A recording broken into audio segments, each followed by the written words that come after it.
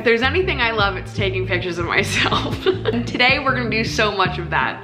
Aren't we all so lucky? Yay, more photos of Maddie.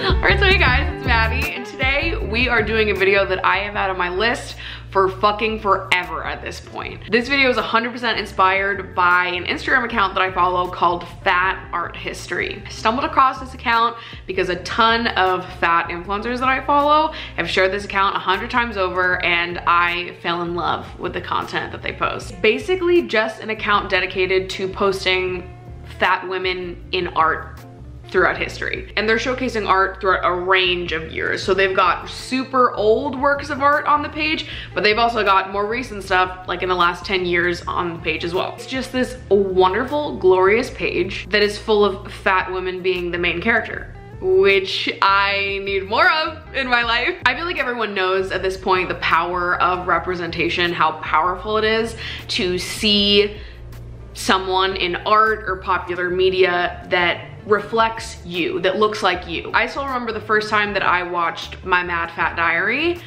Rae Earl changed my fucking life. Watching that show in high school was like world changing. To see a fat character that struggled with her body in a very similar way that I did at the time was like incredible. The reason why I bring that up is just to emphasize the fact that seeing yourself in media is so fucking powerful. It's something that leaves an impact on you, especially if you are within a group of people that is not often shown in popular media. And representation matters in a lot of different ways other than just the characters of the TV shows and movies that you watch. Representation matters in terms of the people that you follow on social media. Are your feeds diversified? Do you follow people that look like you? Do you follow people who don't look like you? And anyways, the reason why I'm saying all this is just because there is something so powerful about seeing fat women in art to see fat women displayed, looking luxurious and loved, having people draped over them, watching them, seeing fat women lounge around, literally being a fucking painting, a work of goddamn art it's impactful. There are so many different types and pieces of media that have felt impactful for me in terms of reshaping how it is that I experience and celebrate my fatness. And this is one of those pieces of media. Having a whole account dedicated to fat women being the centerpiece in these gorgeous works of art is everything. That's amazing. And so I thought today it might be fun to try to recreate some of the images that I found on this profile with myself. This page is full of photos. It was hard for me to pick like which ones I felt the most inspired by, which ones I felt the most drawn towards. And in the end, I've come up with four different types of photos that I'm gonna try to take today. They're not all like direct recreations of a photo that I found on that page, more like photos that are inspired by some of the art on the page and the general sort of vibe and theme of these photos. So the first photo that I wanna take is, I definitely wanna take one laying down, lounging on a couch. These types of photos, this pose of a fat woman laying down on her side, gorgeous, incredible. I talked about this pose in my how to take your best nudes video, the first one, and so this is one that I'm familiar with. This is one that I love so much. Paint me like one of your fucking French girls, this is the vibe. The next photo that I wanna do is like a bra and underwear, doing skincare, drinking some sort of alcoholic beverage while sitting straight up in a chair with my legs like draped over the side. One of my favorite things about a lot of the art on this profile is that a lot of it, if not all of it, is showcasing fat women in very natural poses. Showcasing fat women, you know, slouching over and curled up on the couch. You actually get to see fat people existing as fat people and like living in their bodies. I definitely want to shoot one of these photos just sitting up in a chair like laying to the side with my legs over the edge or something. This third one is sort of a crossover. It's inspired by the Fat Art History account, but also inspired by this other creator on Instagram who I cannot for the life of me figure out what their name is. So editing Maddie, You're gonna figure out what it is and you're gonna tell me right now. Hi, Editing Maddie here with absolutely no information. I have no idea who I was talking about here. I'm starting to doubt my own memory. Did I make this up? I asked over on my Instagram if any of you guys know who I might be talking about, and I got a lot of suggestions. Apparently, a lot of people shoot photos like this, uh, but none of them were the person that I remembered. So I don't really know who I was thinking of, but if I find them, I'll add it whenever I do. For this photo, I want it to basically be a full body nude, except we're gonna use flowers to cover up the parts of my body that would need to be censored. And then the last photo that I wanna take is just close-ups of my stomach and hips draped in sheets. I think it would look really cool, like merging the lines and curves of my body with the lines and curves of a bed sheet and seeing how my body and the bed sheet can sort of mimic each other and flow into each other. That's one of my favorite things to capture about my own body is like the lines and the curves of my body and how they flow into the other parts of my body, into other objects, um, and how we can sort of mimic that flow in a more artistic, grand way. So anyways, long ass intro, all of that to say, today we are celebrating fat bodies throughout art history. With that being said, let's jump into the video. This is photo number one, baby.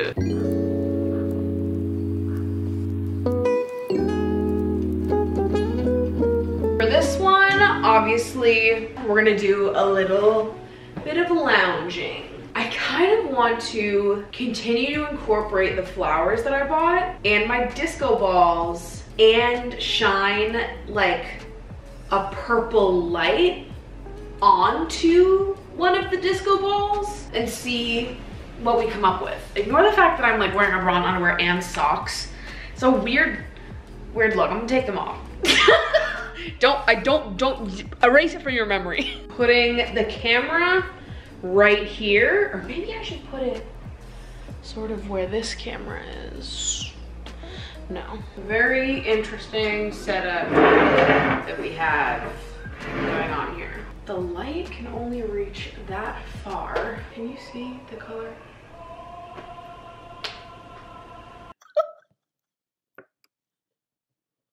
Doesn't notice. figure out where I can put these flowers that don't totally block me, but that also add. Like I wish that I could elevate my body up a little bit so I could lay like just above the flowers. Okay, what I'm saying is I want the flowers to be on the floor. Great, thank you. Why am I? I'll scooch a little bit closer to the ball and put my head on the ball. Yeah, baby, now we're cooking with gas.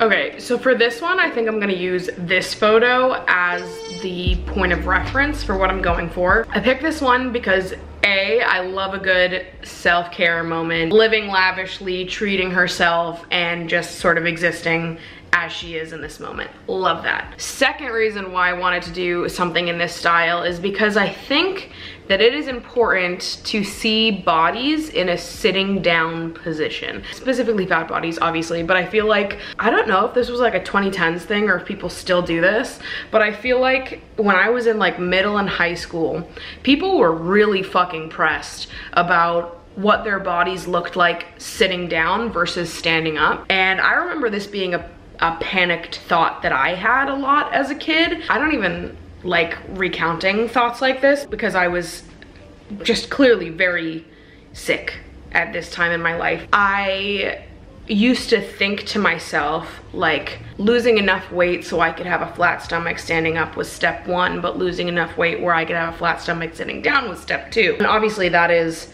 a dark thought that is a sad thing for a young kid to think. You're thinking to yourself, okay, I can accept my body like this, but I can't like that. I can accept my body when I'm standing up straight, you know, shoulders back, chin up. I can accept my body like that, but I can't accept my body when I'm sitting down or when I'm, you know, relaxing like my body normally looks like. I have to pose in order to accept myself, basically. I feel like in my own body image journey, it was so helpful for me when working to undo those kind of mindsets, seeing women who looked like me existing in their bodies without really posing themselves, letting themselves sit and seeing their rolls move in different ways, accepting the fact that your body is going to look different all the time, that every angle, every position. Your body's gonna look a hundred different ways and that is a beautiful thing. That's something to be celebrated, not something that needs to be hidden or, you know, you pick this one pose and this one type of way you like to capture your body and never capture your body any other way. It's a process. I think to a lot of people it feels like having to accept a lot of different bodies instead of just accepting one. It feels so much more daunting seeing your body in so many different angles and lights and contexts and having to accept the way that your body moves and changes on a minute to minute basis. I get it, it's fucking hard. Anyways, the point of me saying all that is just to say that I think that it is a wonderful thing to capture more uh, portraits of our bodies existing as they actually look, as they naturally look on a day to day. Obviously it's super fun to have photo shoots and to actually pose for the camera. Obviously I do that all the time, but I also think it's a lot of fun to try to really capture your body as you are, to exist lounging around, to capture the different ways that your body moves and flows and changes minute to minute, and find beauty in those changes, to find beauty in the way that you look sitting down as well as the way that you look standing up. All right, so I'm thinking that for this one, I actually want to take them as selfies. And I kind of want to pull in a one-seater chair and place it right here in front of the mirror because I like this backdrop and obviously if it's going to be a selfie, I need to be in front of a mirror. And then I think I'll probably pull in a bunch of the plants that I have and place them around me and behind me and try to make this look a little different than what my typical mirror selfies in this location look like. Um, and then I'm gonna put on a face mask. Let's go pick one. So I'm thinking we either go with the chlorophyll mask from Cocokind or the Super Clay Purify and Clear Power Mask from Youth to the People. I feel like I've already decided I'm doing the chlorophyll mask. Okay, wait, no, I'm switching it up. I'm gonna use the Cocokind Matcha Modeling Mix which was like a special one-off product that they did. But this is supposed to be like an at-home spa facial, which is that's the energy I want. That's the vibe I want. So I think I'm just gonna go for it. I think I like this. take pictures with me too, Oh my god, wait, I forgot to get a drink. This is just kombucha. It is like 1 p.m. I'm not gonna start drinking yet. White chair, red liquid. This really isn't a good idea.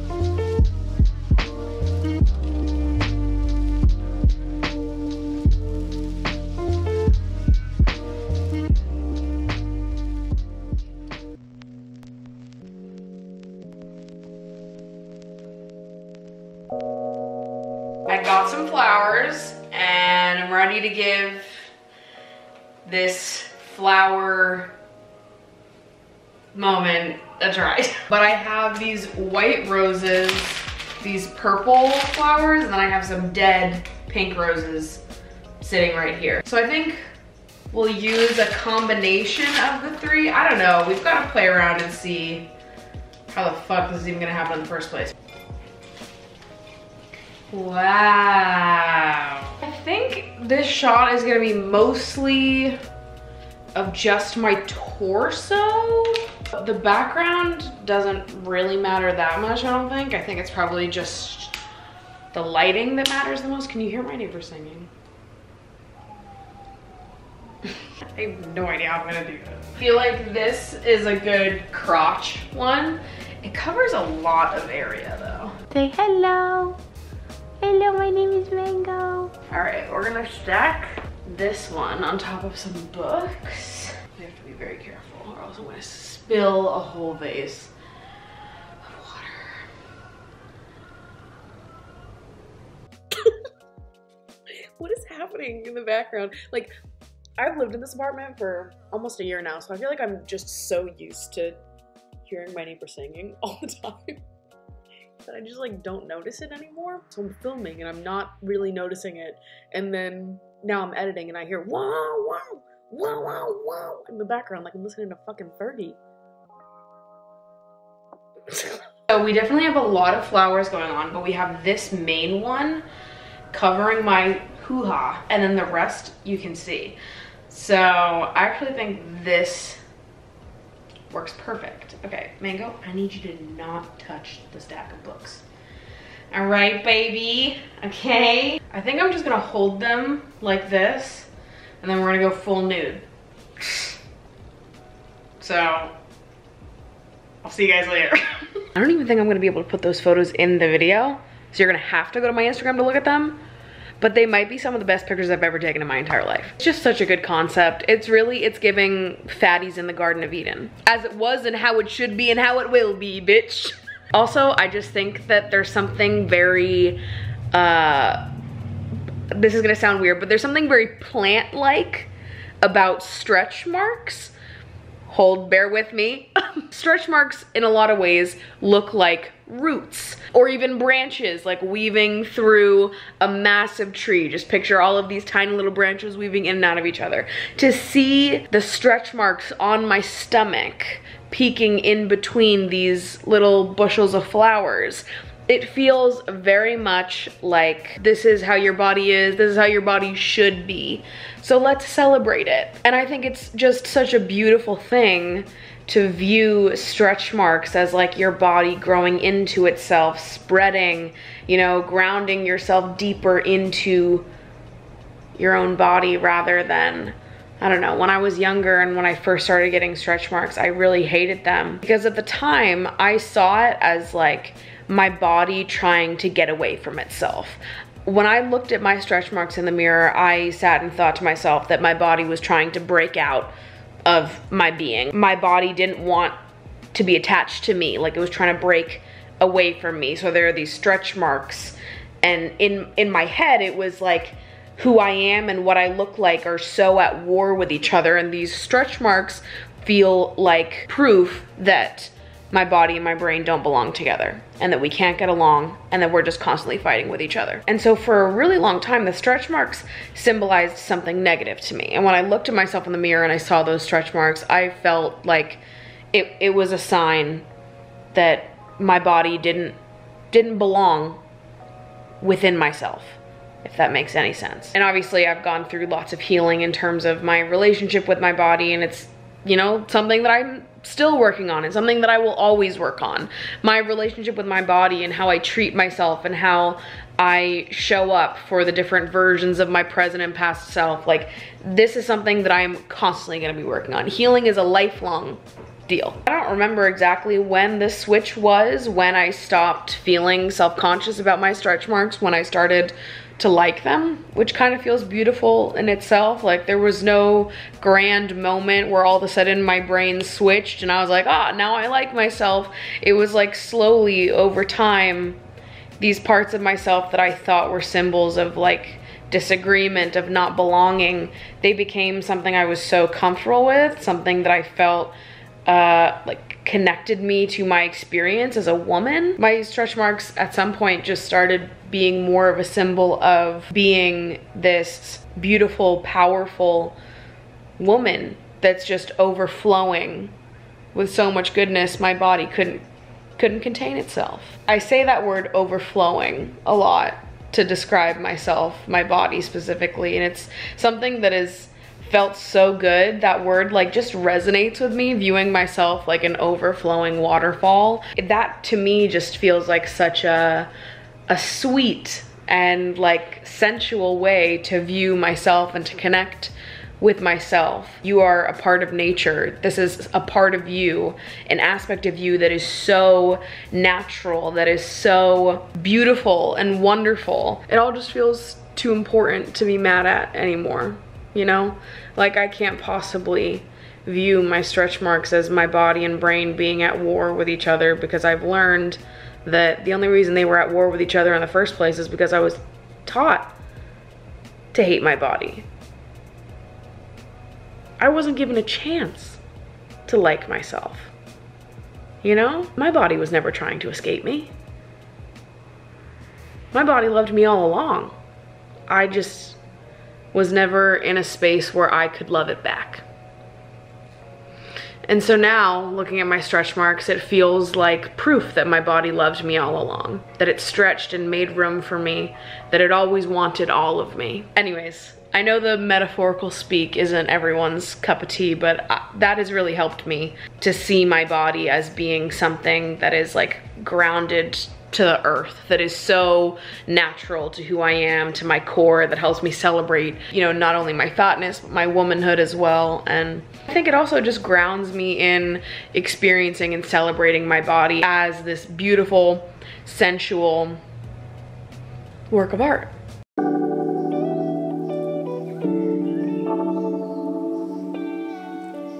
For this next one, I'm just gonna sit in this chair and do a close-up on my stomach. And I have, if you guys watched my apartment tour from last summer, you know that I fucking hate linen bedding. it sucks. It's mega cheeks. So anyways, I have the linen bedding that I was conned into buying last summer that I fucking hate. Um, that I'm just gonna use to like drape around me and create some more interesting lines and silhouettes since it is super crinkled because it's been shoved in the back of my closet for nine months. You know what, while we're on the topic, I would just like to reiterate that linen bedding sucks.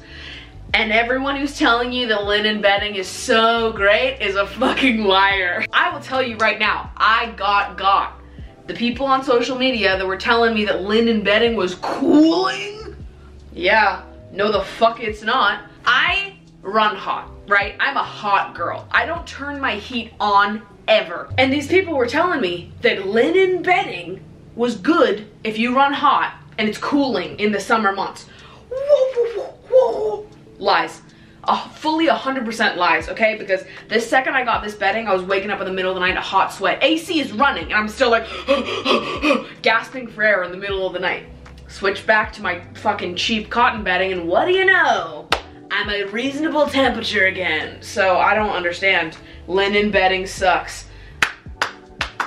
And that's the end of that conversation. Okay, time to take photos. Am I stupid? Like how can, I can't figure out how to make this work. I had a vision and I see it in my head, but I just don't know if it's working with a fitted sheet. no, okay, we're abandoning that. We're just gonna take close-ups of different parts of my body without a fitted sheet on top of me. Anyways, at least we got a rant about how linen bedding sucks out of it.